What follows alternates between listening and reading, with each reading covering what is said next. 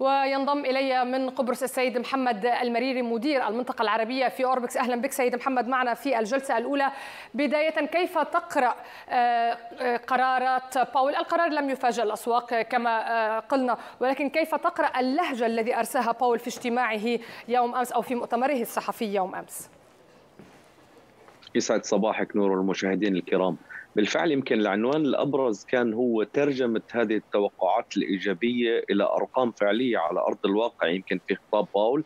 ربط أي خطوات قادمة في تغيير في السياسات النقدية في حال صدور بيانات فعلية على أرض الواقع تعكس هذا التوقعات وتحسنها سواء على مستوى البطالة باستهداف مستويات 4.0 يمكن من من 6.2 الحالية. كذلك باستهدافات إجمالي الناتج المحلي اللي توقعوها عند 6.5 خلال العامين القادمين. يمكن اللي فاجأ الأسواق هو الفترة الزمنية الأطول اللي طرحوها لرفع الفائدة. كان كانت المراقبين بانتظار أي إشارات عن تغيير في نسب الفوائد أو في برامج شراء السندات في وقت أقرب يمكن مع نهاية عام 2022 إلا أنه في سنة إضافية عطت انطباع سلبي. شفنا مؤشر الدولار مع مع مع بدء خطاب كلمة ماول يمكن أم يتراجع دون مستويات يمكن تقنية هامة تم تم اختراقها 91 60 شفنا عم يتداول عند 91 30 بالأمس. يمكن هذا الشيء اعطى أيضا دفعة قوية في أسواق مؤشرات الأسهم بمعنى أنه السيولة مستمرة حتى عام إضافي حتى نهاية عام 2023 شفنا أرقام قياسية بحققها مؤشر S&P كمان داو جونز كان عم يتداول فوق 33 ألف في المرة الأولى حتى مؤشر ناسداك استطاع من تقليص يمكن خسائره والتداول باللون الأخضر خلال جلسة أمس. كيف تقرأ ما قاله باول فيما يتعلق بترك عوائد السندات ترتفع يعني هو أرسى نوع من لهجة للسفار يعني لترك السوق تتصرف بقوى السوق. كيف تقرأ هذه الصورة؟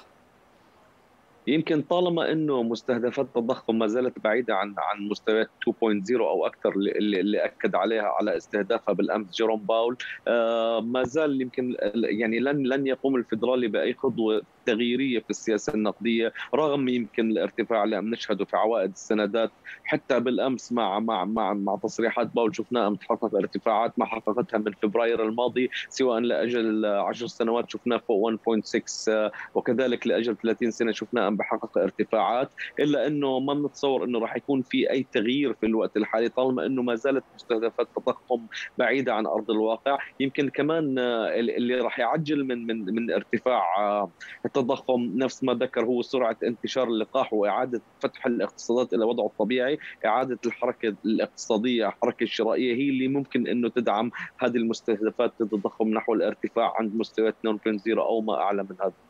طيب ذكر باول يوم أمس في حديثه في مؤتمره الصحفي إنه الشركات من الممكن هي نفسها أن تتحمل زيادة تكلفة التوظيف، زيادة ربما الرواتب إذا ما حصل زيادة في الطلب على الموظفين عندما تصل مستويات البطالة إلى مستويات منخفضة.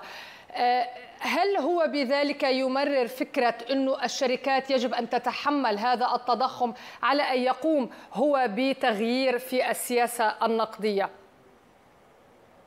يمكن هي أيضا من ضمن النقاط الخلافية اللي كانت موجودة على على جدول الحزب التحفيزي اللي تم طرحها مؤخرا 1.9 تريليون وهي زيادة أجور العاملين أو زيادة اللي كان عليها خلاف إلى 15 دولار في الساعة.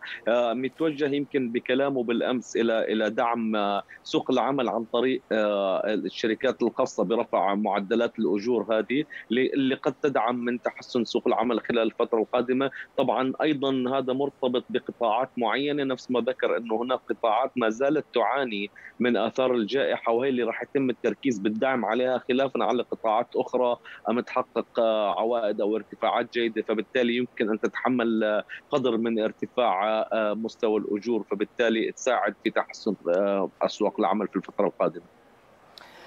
باول يوم أمس كان حذر وحاول يعني تفادي الإجابة عن ما يتعلق بالقروض التي ستعطيها البنوك وكيفية تقسيم هذه الأرقام. لماذا برأيك كان هذا الحذر من باول؟